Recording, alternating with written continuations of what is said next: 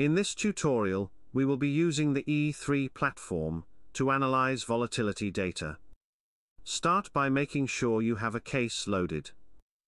Next, we will select to add evidence.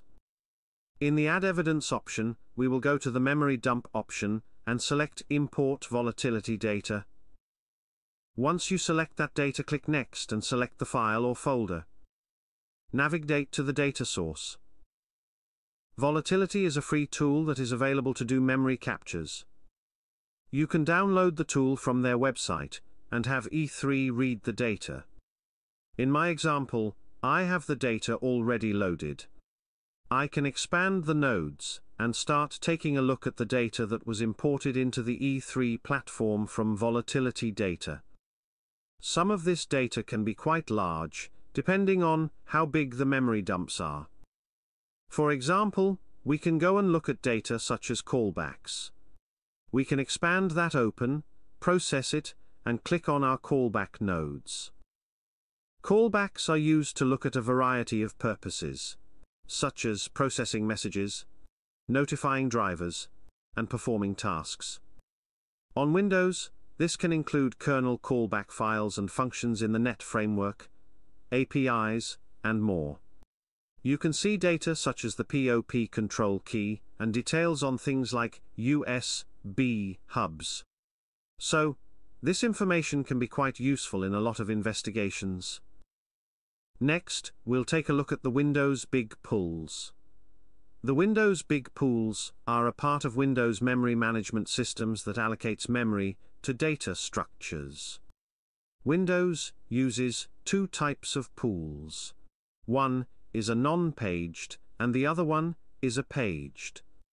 We see the caches assigned the different pool types, whether they're known, not unknown. You can continue with additional analysis focused on the Windows DLLs.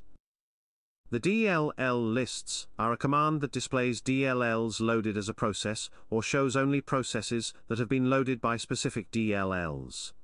Next, we'll be taking a look at the RRIP files. The RRIP, IRP, or what's known as in, out processes. These request packets, it's a structure that stores information used to process any I.O. request. IRPs are used to communicate between the IRIO manager and drivers. If we keep looking through our memory dump, we can also see the user 32 crypto base.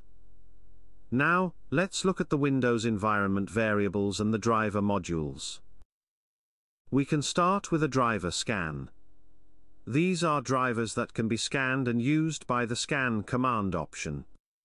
The process detects drivers' entry points, records and results and corrects any errors that take place and contain hubs, monitors, and more. If we go to the Windows envars, these are environment variables, that are strings that contain information about the system and the current user. These would include things like file placement, file identification, and program functionality. You will see things like system drivers, path information, system root temp, your WinDIRs, OS information, and more. We can continue by looking at the Windows IAT information. The IAT tables is where Windows stores the address and functionality that are imported from DLLs. This would include things like applications needed to call as a function in a different module. It looks for those function addresses in the IAT. This is where you can see a lot of kernel DLL information, and see if they are true or they're false. Then, we can take a look at your MBR information. The MBR scan is a tool that can scan for malware on a computer's master record boot. Master boot record, the MBR, is a small program that contains information about the hard drives, partitions, and locations of the operating system. Take a look at things like the partition index, the boot partition type, the sector size, more. Additional details on the memory dump analysis can be found at volatilityfoundation.org.